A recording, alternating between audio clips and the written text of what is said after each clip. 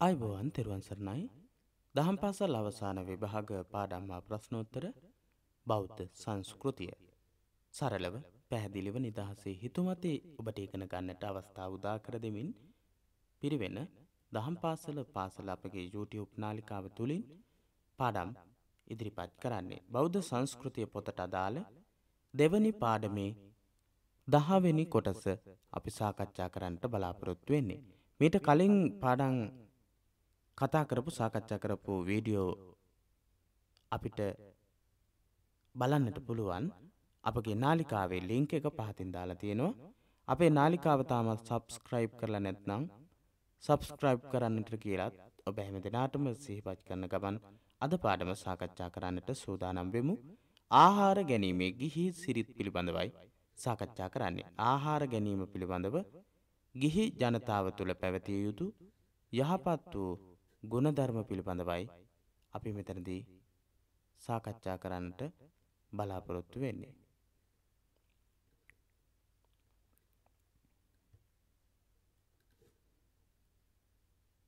අපි බලමු බෞද්ධ සංස්කෘතිය පොතට අදාළව ඒ පාඩමේ දැක්වෙන තොරතුරු අනුව මේ පාඩමේ අපි සාකච්ඡා කළ යුතු අවධානය යොමු කළ යුතු තැන්මනවද කියලා. ආහාර ගැනීම පිළිබඳ ඉහත සඳහන් භික්‍ෂු චාරිත්‍ර සියල්ල ගෙහියන්ට ගැලපේ. මුලින් අපි නවවැනි පාඩමේදී සාකච්ඡා කරලා තියෙනවා ගිහි ජනතාව ගැන නෙවෙයි පැවිදි ජීවිතයේදී ශික්ෂාපද තිහක් යටතේ ආහාර අනුභවය එහෙම නැත්නම් දානය වැළඳීම කොයි ආකාරයෙන්ද සිදු කළ යුතු වෙන්නේ කියන එක පිළිබඳව. එසේම බෞද්ධ ගිහියා විසින් ඒවා අනුගමනය කරනු ලැබේ. මේ භික්‍ෂූන් වහන්සේලා ආහාර අනුභව කරන වලඳන අවස්ථාවන් වලදී භාවිත කරන විනේ නීති ගිහි ජනතාවටත් පොදුයි වලංගුයි එවගේ මේවා පාවිච්චි කරනවා. ගිහියන් වේවා පැවිද්දන් වේවා ආහාර ගැනීම සමාජ කාර්යකි.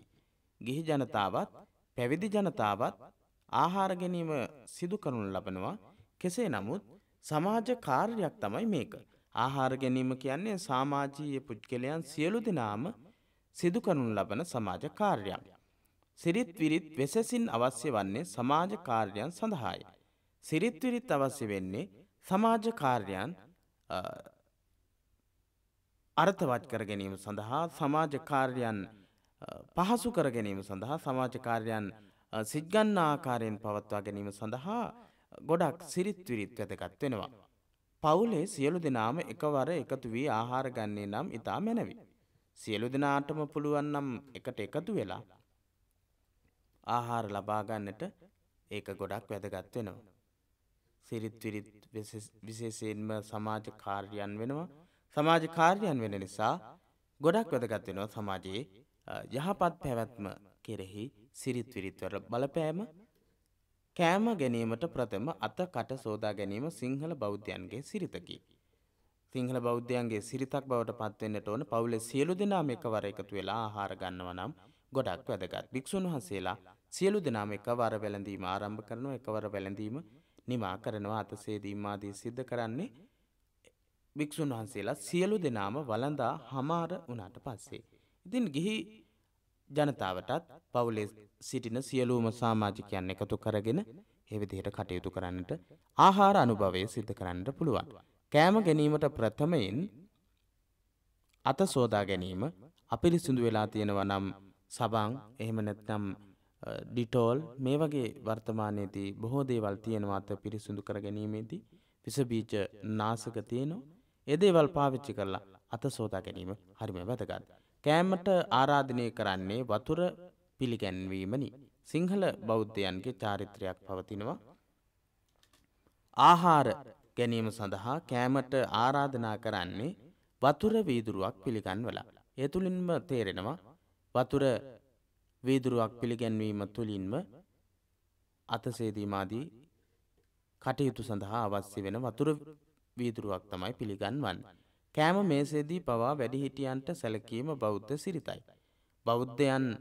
බෞද්ධයන්ගේ සිරිත අනුව කෑම ගැනීමේදී පවා ආහාර මේසේදී කෑම මේසේදී පවා වැඩිහිටියන්ට මුල් තැනක් දීම වැඩිහිටියන්ට ගෞරව කිරීම සිදු වෙනවා. ආච්චිලා සීලා සියලාදීන් සිටින්නේ නම් ඔවුන්ට පළමුවෙන් ආහාර පිළිගැන්වීම කරනු ලැබේ. ආච්චිලා සීයලා වගේ වැඩිහිටියෝ ඉන්නවා නම් පළමුවට පළමුවෙන්ම පළවෙනියටම ඒ අයට ආහාර බෙදලා වැඩිහිටි කවුරු හරි ලබා දෙනවා. ඒ අයට ආහාර ලබා දීලා ඉන් අනතුරුව තමයි අනිත් අයට මේ ආහාර බෙදා ගන්නට අවස්ථාව ලබා දෙන්නේ. ආච්චිලා සීලා ආදී ඉන්නවනම් වැඩිහිටියන් ඉන්නවනම් එයාට ආහාර බෙදලා දෙනවා. කෑම බෙදලා දෙනවා. එසේම කුඩා දරුවන් සිටින්නේ නම් ඔවුන්ට සැලකීමද සිරිතකි. පළවෙනියටම වැඩිහිටියන්ට ඊට පස්සේ පොඩි දරුවන්ට අවධානය යොමු කරන සාමාන්‍ය පොඩි දරුවන්ට කෑම මේසේදී වුණත් තේරෙන්නේ නැති නොතේරෙන බොහෝ දේවල් තියෙනට පුළුවන්. ඒ නිසා වැඩිහිටියන්ගේ යුතුයකමක් වෙනවා ආහාර මේසේදී කුඩා දරුවන් කෙරෙහි අනුගමනය කළ යුතු සිරිත් විරිත් කෙරෙහි අවධානය යොමු කිරීම. අමුත්තන් සිටින්නේ නම් ඔවුන්ට සංග්‍රහ කිරීමද පළමුවෙන් කරනු ලැබේ. යම්කිසි අමුත්තෙක් තමන්ගේ නිවසට පැමිණලා සිටිනවා නම් ඒ අමුත්තන්ටත් මුලින්ම ආහාර ලබා දීම සිදු කරනු ලබනවා. පළමුවෙන් තමන්ට බෙදා ගැනීම බෞද්ධ සිරිතක් නොවේ. පළවෙනියටම තමාට ආහාර බෙදාගන්නේ නැහැ බෞද්ධ සිරිත බවට පත්වෙන්නේ පළවෙනියටම වැඩිහිටියන්ට පුංචි දරුවන්ට අමුත්තන් ඇවිල්ලා ඉන්නවනං ඒ අයට ආහාර බෙදලා දෙන එක තමයි බෞද්ධ සිරිත බෞද්ධ චාරිත්‍රය බවට පත්වෙන්නේ ආහාර ගැනීමේදී. ආහාර තමනට සෑහෙන පරිදි බෙදා ගැනීමටත් කෙනෙකුට බෙදන්නේ නම් අතිරික්ත වන පරිදි නොගැනීමටත් සිත තබාගත යුතුය. ආහාර තමන්ට සෑහෙන ප්‍රමාණයට බෙදා ගැනීම සිදු කළ යුතුයි හොඳ සිරිතක් බවට පත්වෙනවා. කෙනෙකුට තමන් බෙදෙනවා නම් ඉතිරි වෙන්නේ නැති සාමාන්‍ය ප්‍රමාණයකට ඒ පුද්ගලයාට ආහාර ගත හැකි ප්‍රමාණයට ඒ පුද්ගලයා වෙනුවෙන් ආහාර බෙදාදිය යුතුයි. කෙනෙකු බෙදද්දී තමන්ට අනවශ්‍ය නම් පිගානට උඩින් පිටි අල්ල ඇල්ලීම සිරිතකි. සාමාන්‍ය තමන්ට එපා නම් ප්‍රමාණවත් නම් තමන්ගේ පිටි අල්ල ඇල්ලීම. අතින් තමන්ගේ පිඟාන වැසීම සිදු කරනු ලබනවා. මේ බෞද්ධ භික්‍ෂූන් වහන්සේලාගේ සිරිතකි. දානවලට වැඩියට පස්සේ දානමය අවස්ථාවලදී භික්‍ෂූන් වහන්සේලාට ප්‍රමාණාත්මකවදානය ලබාගත්තට පස්සේ එහෙම නැත්නම් මනවස්්‍ය දෙයක් නම් උන්වහන්සේ වලඳන්නේ නැති දෙයක් නම් ඒ විදිහට පිටි අල්ල එහෙම නැත්නම් අතවැසීම සිදු කරනු ලබන එක බෞද්ධ භික්ෂූන් වහන්සේලාගෙන් ගිහි ජනතාවට ලැබුණු චාරිත්‍රයක්. කෙනෙකු බෙදද්දී තමට අනවශ්‍ය නම් පාත්‍රයට උඩින් පිටි අල්ල දැක්වීම උන්වහන්සේලාගේ සිරිතයි. භික්ෂුන් වහන්සේලා පිටි අල්ල දැක්වීම සිදු කරනු ලබනවා භික්ෂුන් වහන්සේලාගේ සිරිතක්. මෙසේ කිරීමෙන් ආහාර නාස්තිය වලකී. මෙහෙම කලාට පස්සේ ආහාර නාස්තිය අඩු කරගන්න පුළුවන්. සියලු දෙනාම එකවර කෑම ගැනීම ආරම්භ කිරීම බෞද්ධ සිරිතයි. සාමාන්‍ය බෞද්ධ සිරිත තමයි භික්‍ෂූන් වහන්සේලාගේ සිරිත තමයි සියලු දෙනාම එකවර ආහාර ගැනීම ආරම්භ කරනවා.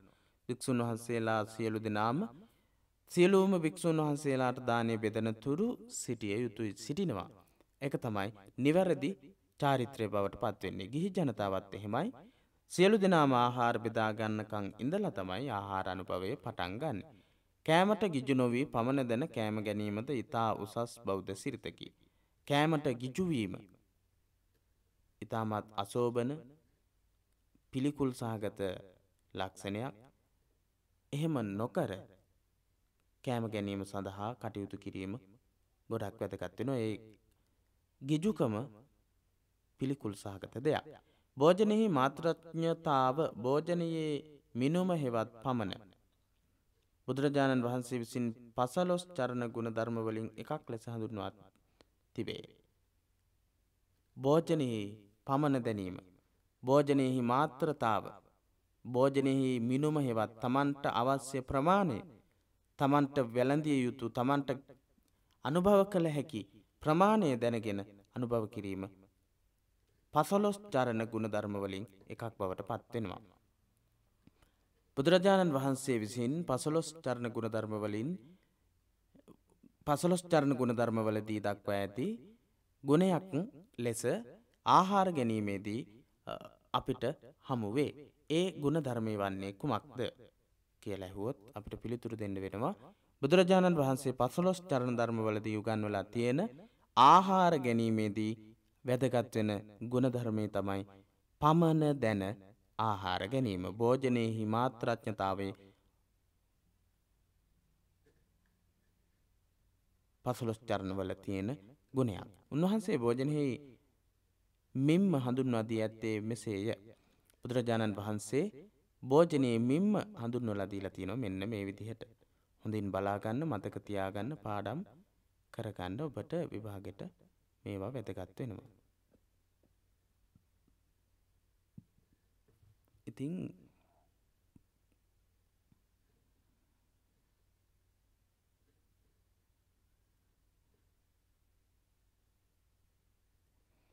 නිවල් ලබනු රිසි පැවිද්දා විසින් සම්පූර්ණයෙන් කුස පිරී තද නොවන පරිදි බඩට අල්ලන ප්‍රමාණයෙන් බත් පිඬු හතරක් පහක් අඩුකොට වළඳා පැන් පානය කළ යුතුය. එසේ වැළඳීමෙන් ඉරියව් පැවැත්වීමේ පහසුවත් නීරෝගී භාවයත් ඇතිවන්නේය.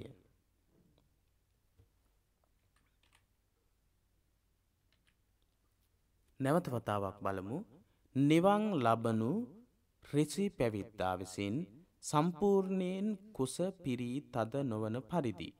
බඩට අල්ලන ප්‍රමාණයෙන් බත් පිඩු හතරක් පහක් අඩුකොට වළඳා පැන් පානය කළ යුතුය. එසේ වැළඳීමෙන් ඉරියව් පැවැත්වීමේ පහසුවත් නීරෝගී භාවයත් ඇතිවන්නේය. එවිදියට තමයි බුදුරජාණන් වහන්සේ අවවාද දෙන්නේ බත් පිඩු හතරක් පහක් වැළඳීමට ඉඩ ඉතිරි වෙලා තියෙද්දී පැන් පානය කළ යුතුයි. එහෙම වැළඳුවාට පස්සේ ඉරියව් පැවැත්වීම හරිම පහසුයි. නීරෝගී භාවය පිණිසත් හේතු වෙනවා. චත්තාරෝ පංච ආලෝපේ අබුත්වා උදකම්පිවේ. අලං පහසු විහාරාය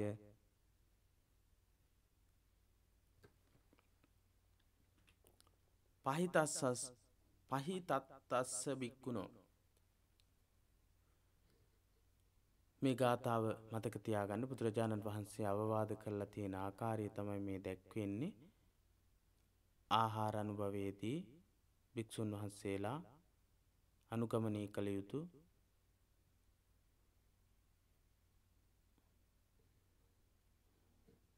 ආකාරය මේ තුල අන්තර්ගත වෙනවා.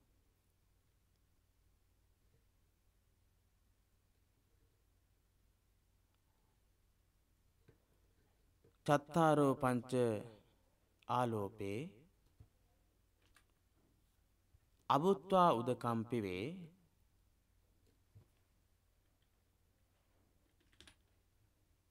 අලං පහසු විහාරාය පහි තත්තස්ස බික්කුණු. චත්තාරෝ පංචාලෝපේ අබුත්වා උදකම්පිවේ. ගුලි හතරක් පහක් වැළඳීමට බඩේ යුතු ඉඩ ඉතිරිව තියෙද්දී උදකම් පෙවේ ජලය පානය කළ යුතුයි පැන් වැළඳිය යුතුයි. අලංපාසු විහාරාය පහිතස්ස බික්කුණෝ භික්ෂුන් වහන්සේලාගේ නිරෝගීමත් භාවය පහසු විහරණය පිණිස හේතු වෙනවා කියලා ඒ තුල අදහස දැක්වෙනවා. චත්තාරෝ පංචාලෝපේ අබුත්වා උදකම්පිවේ අලංපාසු විහාරාය පහි තත්තස්ස වික්කුණෝ කෑමට ඇති ගිජුකම නිසා බොහෝ දෙනෙකු කරදරේ වැටෙන බව බුදුරජාණන් රදුන් විසින් දැක තිබීම නිසා භෝජනයේ පමණ දැන ගැනීම පිළිබඳව උන්වහන්සේ නොයෙක් අවස්ථාවලදී දේශනා කොට තිබේ. බුදුරජාණන් වහන්සේ මේ විදිහට ආහාර ගැනීමේදී පමණ දැන ගැනීම පිළිබඳව අවධානය යොමු කරන්නට හේතුව තමයි ගොඩක් දෙනෙක් භෝජනයේ පමණ දැනගෙන අනුභව නොකිරීම නිසා අමාරුවට අපහසුතාවයට රෝගී තත්ත්වයන් වලට පත්වෙනවා. එනිසා බුදුරජාණන් වහන්සේ දැඩිසේ අවධානය යොමු කළ අවස්ථාවක් තමයි ආහාරයේ පමණ දැනගෙන ආහාර ගැනීම කියන කාරණය. බුදුරජාණන් වහන්සේ ඒ කෙරෙහි විශේෂ අවධානයක් යොමු කරලා තියෙනවා. මාරයාට මැඩලීමට හෙවත් පරාජය කිරීමට නොහැකි වන පුද්ගලයෙකු තුළ තිබෙන ගුණධර්මයන් වශයෙන්ද ආහාරයේ පමණ දැන ගැනීම භෝජනම් හිච්ච මත්තඤ්ඤුං භෝජනම් හිත තඥුන් කියන මේ අදහස තුළ මාරයාට මැඩලීමට හෙවත් පරාජය කිරීමට නොහැකිවන පුද්ගලයෙකු තුළ තිබෙන ගුණධර්මයක් විදිහට උගන්වනවා. ආහාර වැඩිපුර ගැනීම මාරයාගේ වසඟයට යෑම මාරයාට හසුවීමක් විදිහටයි බුදු දහමේ උගන්වන්නේ. බුදුරජාණන් වහන්සේ විසින් ධම්ම පදෙහි යමක වගේදී පෙන්වාදී තිබේ. භෝජනම් හිච්ච මත්තඥුන් කියලා බුදුරජාණන් වහන්සේ දේශනා කල්ලා තියෙනවා ධම්මපදේ යමක වගේදී. භෝජනම් හිච්ච මත්තඥුන් යනුවෙන් බුදුරජාණන් වහන්සේ විසින් දක්වා ඇත්තේ කුමන ධර්ම ග්‍රන්ථයකද ධම්මපදේ යමක වගේදී කියලා අපිට කියන්න පුළුවන් වෙන්න ඕන ධම්මපදේහි යමක වගේ ධම්මපදේ යමක වගේදී භෝජනම් හිච්ච මත්තඥුන් භෝජනයේහි පමණ දැන ගැනීම කියලා බුදුරජාණන් වහන්සේ දේශනා කළා තියෙනවා. පමණ දැන කෑම ගැනීමෙන් ඉරියව් පැවැත්වීමේ පහසුවත් නීරෝගී භාවයත් ඇතිවන්නේය. එකට කෑම ගන්නා අය තුළ පිළිකුලක් ඇතිවන පරිද්දෙන් හැසිරීම බෞද්ධ චාරිත්‍රවලට එකඟ නොවේ.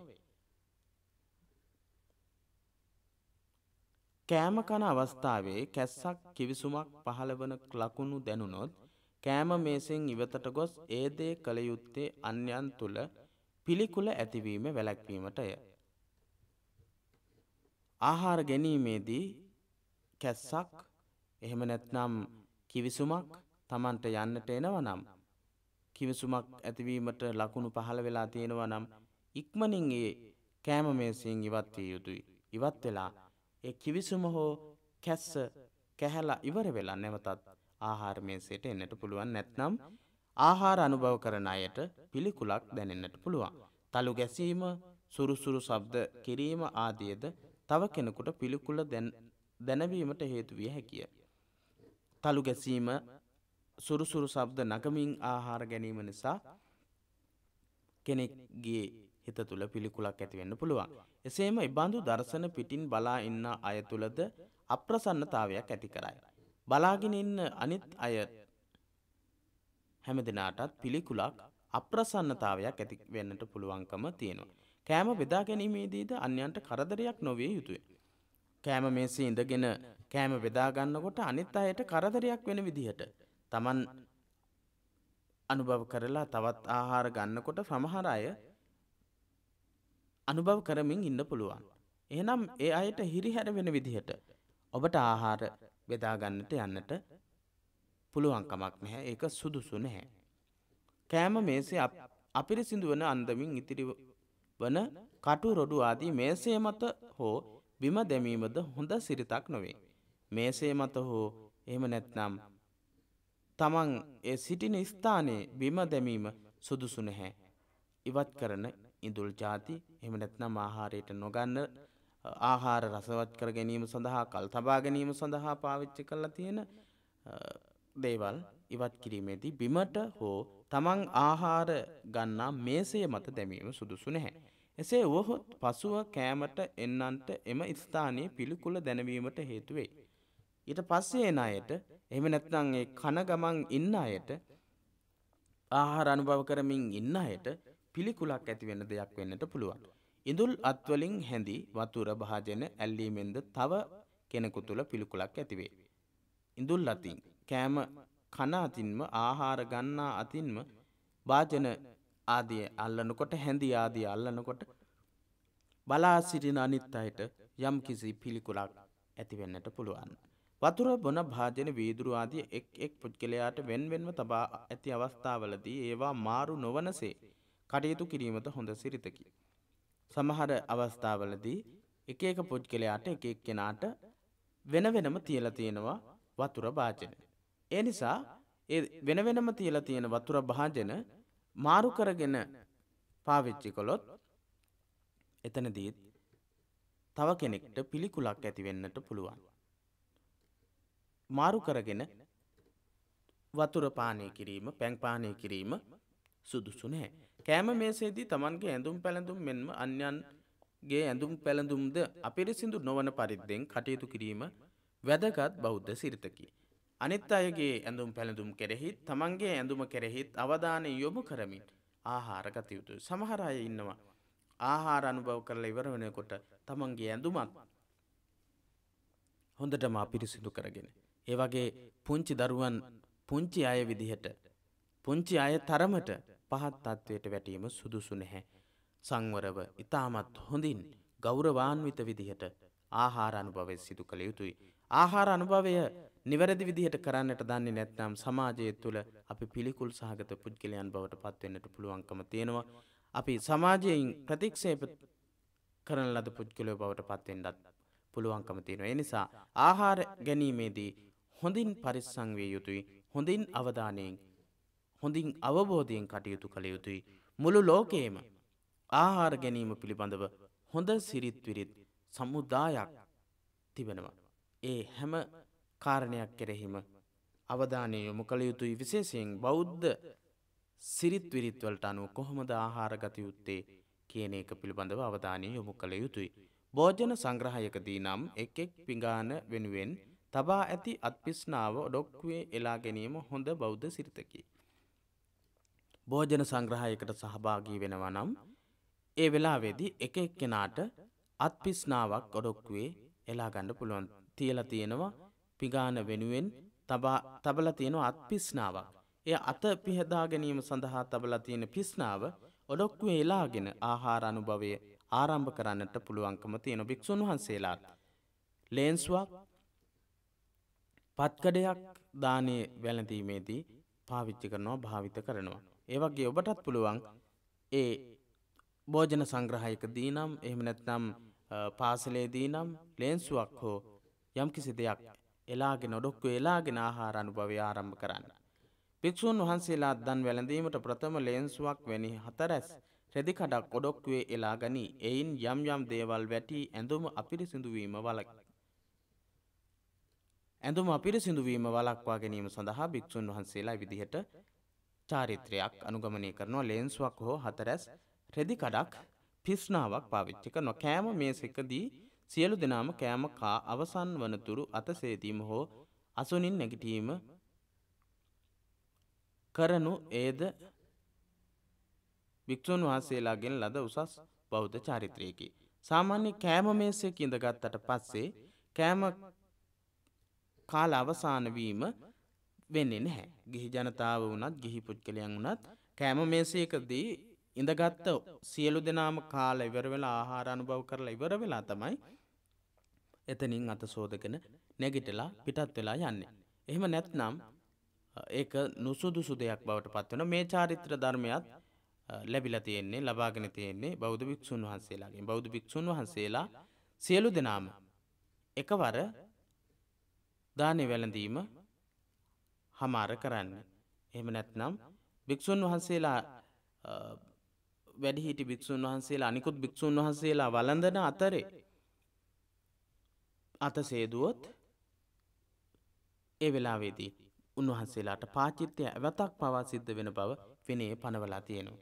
එහෙනම් අපි ඒ සාකච්ඡා කළේ ගිහි ජනතාවට පැවිදි චාරිත්‍රවලට අනුව ආහාර ගැනීමේ චාරිත්‍රවලට අනුව කොයි විදිහටද සකස් වෙන්නට පුළුවන්කම තියෙන්නේ කියලා ආහාර ගැනීමේදී මුළු ලෝකයේම පිළිගත්ත යහපත් වූ සිරිත් විරිත් මොනවද කියන එකයි සාකච්ඡා කළේ.